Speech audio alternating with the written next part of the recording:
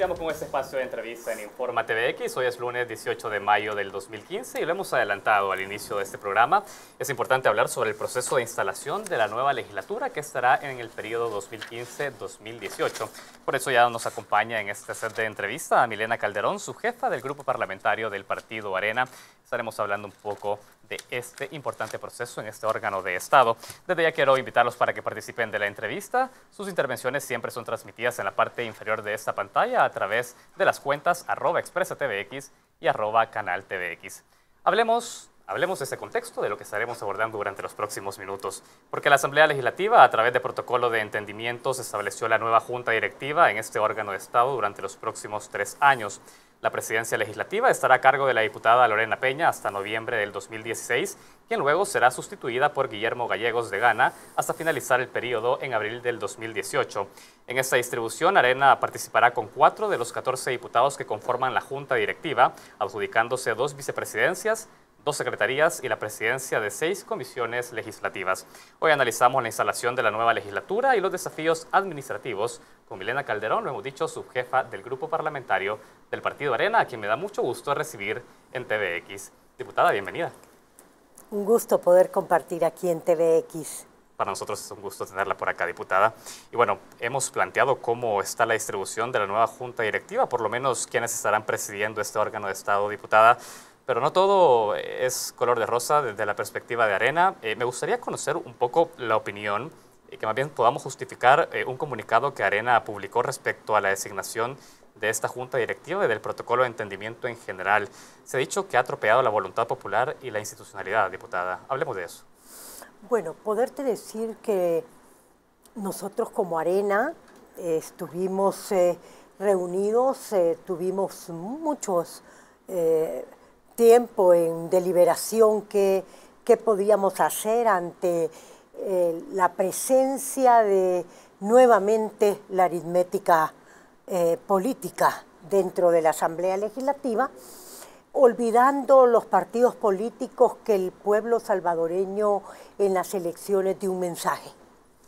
Y el mensaje fue eh, busquen acuerdos, dialoguen, desde el momento que no le dio la mayoría a ninguno de los partidos políticos. Pero creo que el FMLN en este momento está actuando de una manera muy eh, a, dar eh, respuesta a sus necesidades mediáticas, sin tomar en cuenta lo que el pueblo le ha dicho. El hecho de eh, decir, bueno, aunque ustedes no entren, nosotros tenemos más de 43 votos y nos vamos a, vamos a poner a quien queremos, pues eso eh, está demostrando el poco espíritu democrático que tiene el partido eh, oficial. Ahora, diputada, hay un aspecto que por ahí eh, hace ruido y es que el reglamento interior de la Asamblea Legislativa y la Constitución misma está respaldando ese tipo de acuerdos para establecer protocolos de entendimiento.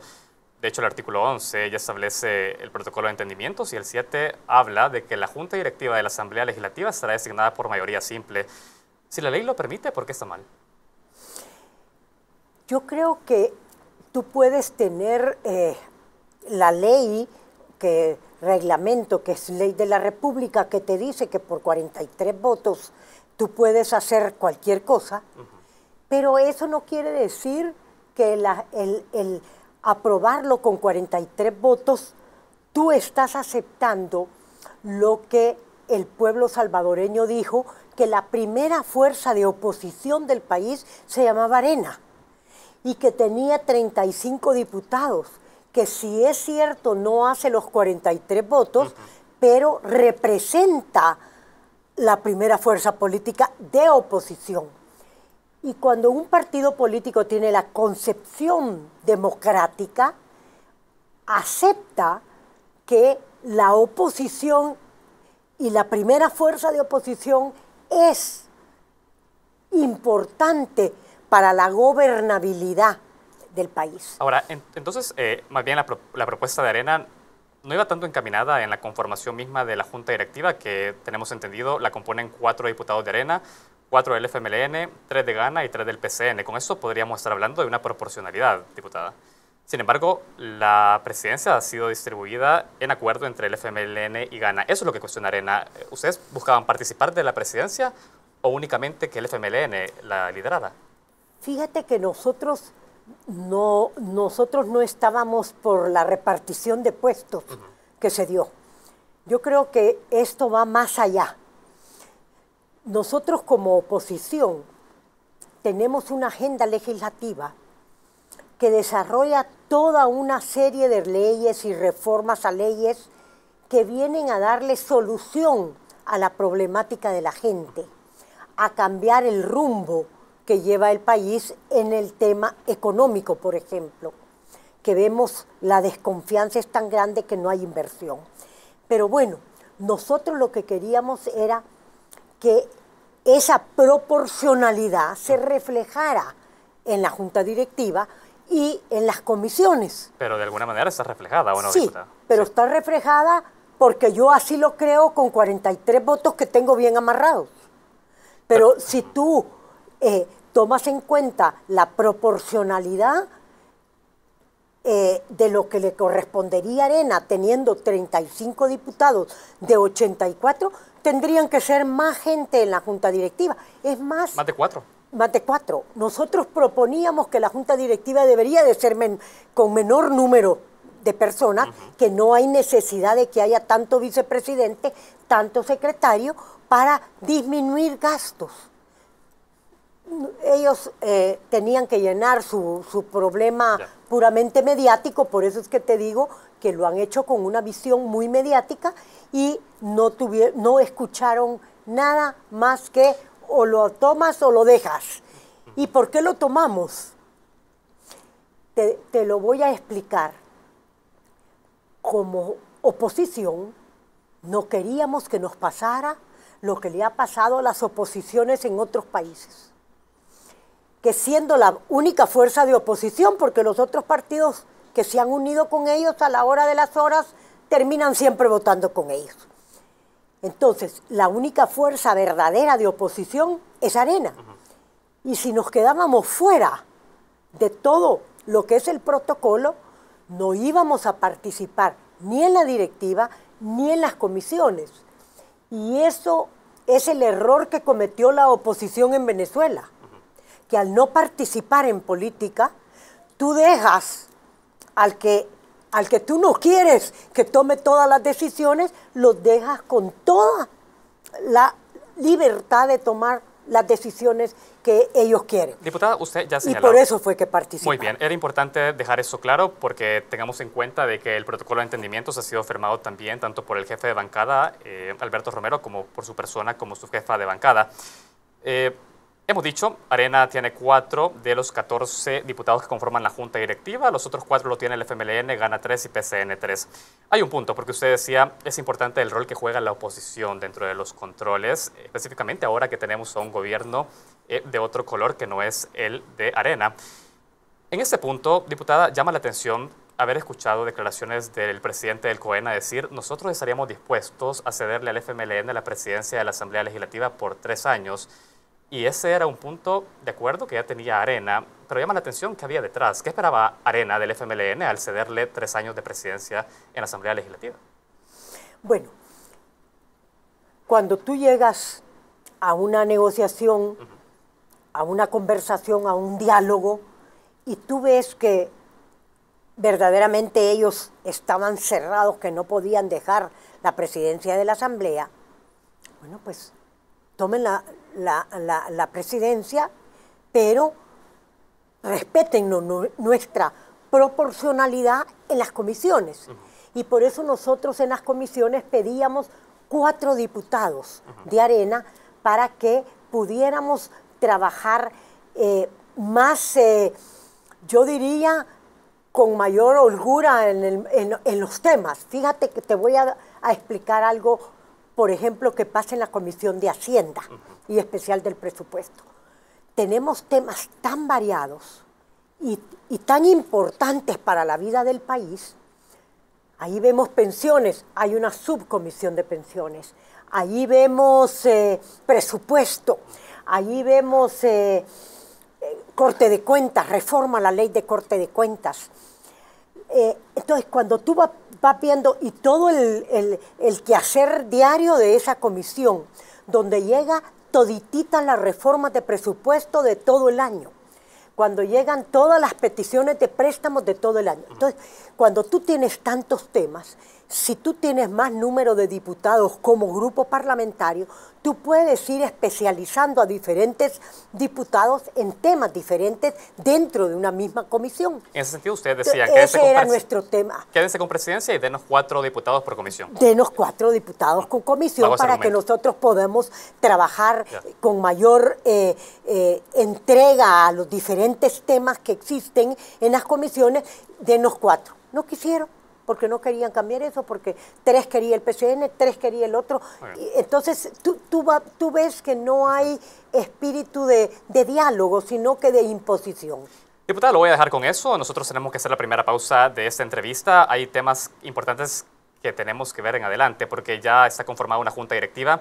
Quiero saber cuál va a ser el papel de Arena para poder generar dentro del gasto de la Asamblea Legislativa, del órgano judicial, un gasto que sea preciso y eficiente para las necesidades de nuestro país. Nosotros tenemos que hacer la primera pausa de esta entrevista. Quiero recordarles, estamos en entrevista con Milena Calderón, subjefa del Grupo Parlamentario de Arena. Ya regresamos.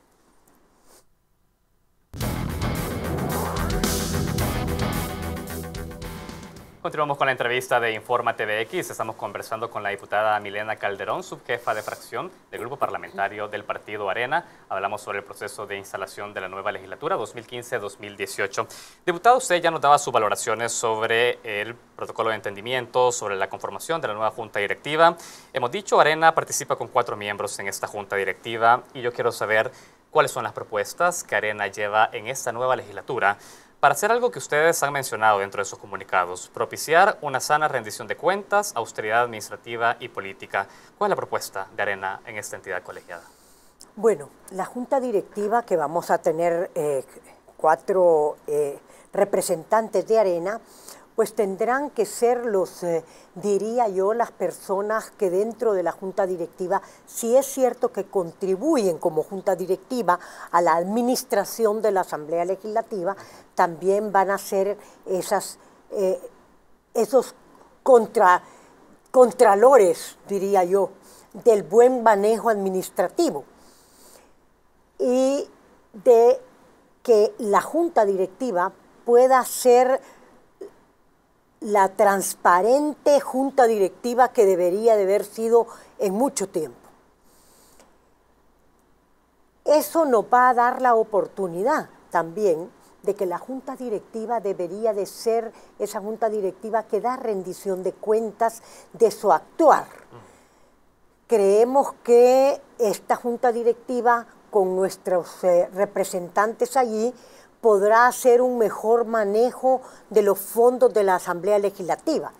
Te cuento, por ejemplo, que pasamos casi los últimos tres meses del periodo pasado donde no teníamos ni papel para poder hacer una fotocopia. Entonces, ¿cómo es posible que una junta directiva, pero sí tenía grandes banquetes, Cifrido Reyes, pero no había papel no había para poder eh, hacer una fotocopia. Entonces, y tú necesitas, hay veces, muchísimo de eso para poder hacer tu trabajo legislativo. Diputada, ¿hay propuestas concretas sobre eso? Porque usted nos dice, Arena debería participar como una contralora de eh, la administración del órgano legislativo, pero ¿hay propuestas concretas, por ejemplo, en materia de los salarios, de los bonos, de los asesores legislativos?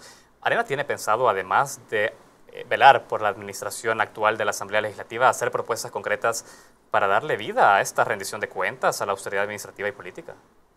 Bueno, yo quiero decirte de que eh, en, la, en la, Junta Directiva tendrá diferentes comisiones donde vamos a participar los miembros que representan Arena y allí desde esas comisiones internas de la Junta Directiva podrán ser los que eh, aporten con sus ideas para poder tener una administración que eh, lleve esa austeridad, pero que a la par sea lo suficientemente eficiente para poder dar el resultado que el pueblo salvadoreño espera.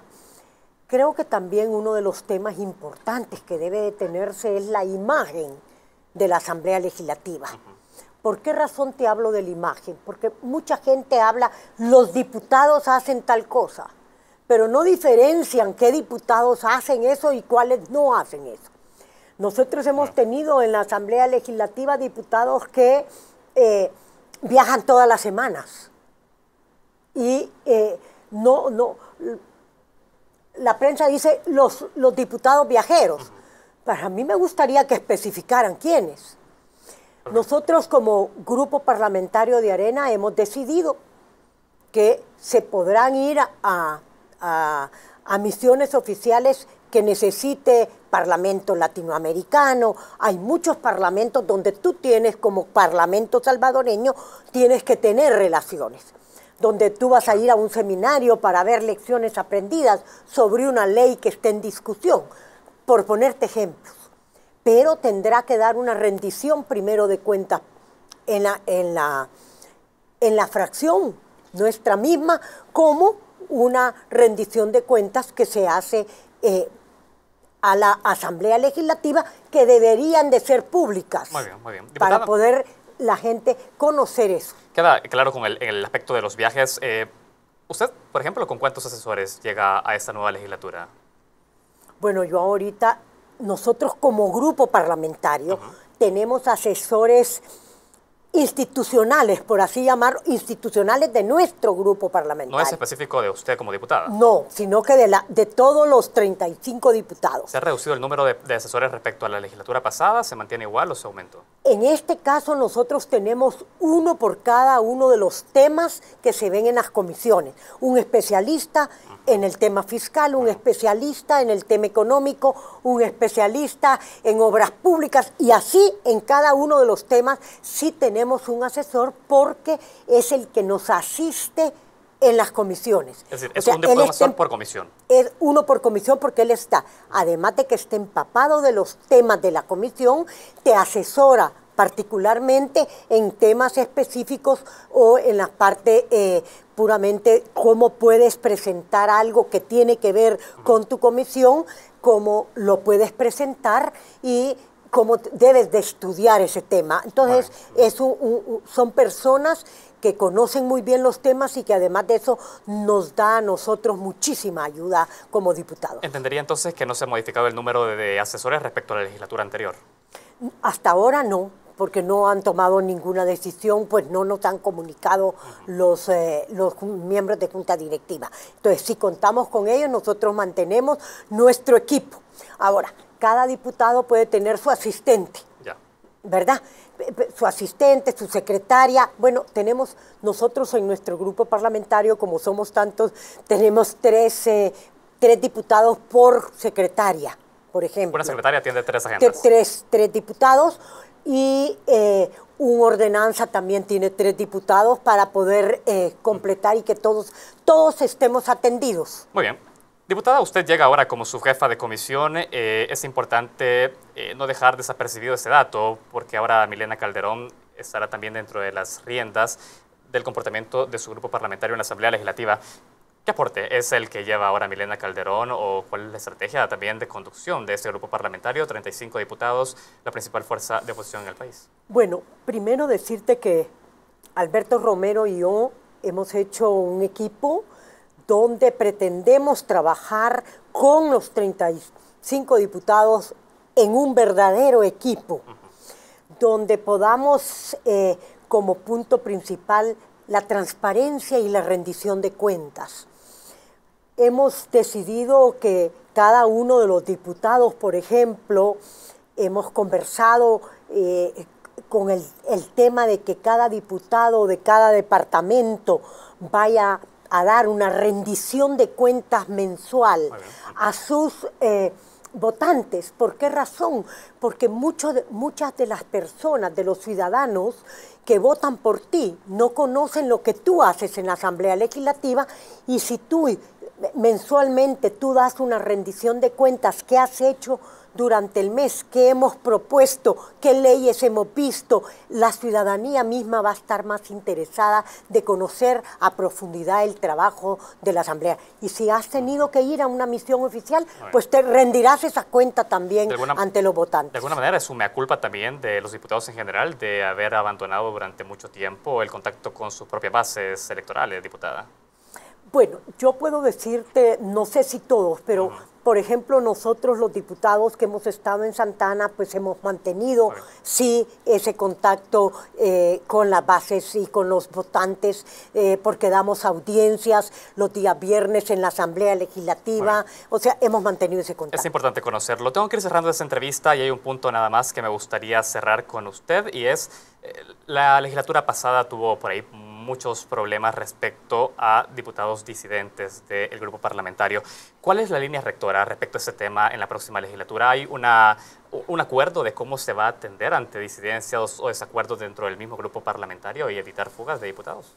Fíjate que yo creo que es importante que se sepa que nosotros como grupo parlamentario tenemos todas las semanas una reunión de fracción donde nosotros aplicamos la democracia interna, donde tú puedes expresar lo que tú quieras sobre los temas a tomar o las decisiones a tomar, pero sí democráticamente se decide al final. Muchas veces he sido vencida en, la, en la fracción donde mi opinión no es la aceptada, pero si la mayoría decidió tal cosa, eso vamos a respetar. Se apoya. Eh, se apoya. ¿Por qué razón? Porque si nosotros aprendemos que la democracia se debe de respetar, la, inicias allí en el grupo parlamentario. Ahora, habrán temas donde algún diputado podrá tener alguna diferencia y podrá decir yo voy a votar diferente. ¿Por qué? Porque creo que esto debería de ser así.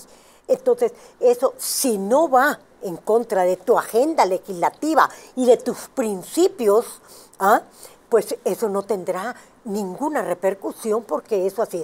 Viniera, por ejemplo, la decisión de la pena de muerte. En mi, mi grupo parlamentario hay mucha gente que está de acuerdo con la pena de muerte y otros que no estamos de acuerdo con la pena de muerte. Entonces, será decisión de cada uno. Milena Calderón, su jefa del grupo parlamentario de Arena, le queremos agradecer su tiempo para poder explicarnos, dar también sus opiniones sobre esta conformación de junta directiva y un poco comentarnos cómo estará también la dinámica dentro de este grupo parlamentario. Muchas gracias. Gracias a ti por haberme dado esta oportunidad. de estar en TVX. Muchísimas gracias también a ustedes que han estado pendientes de esta entrevista. Les recuerdo que viene en repetición hoy a las 11 y mañana a las 7 de la mañana. También la podrán encontrar en nuestro canal de YouTube Expresa TVX. Hacemos una pausa, ya volvemos.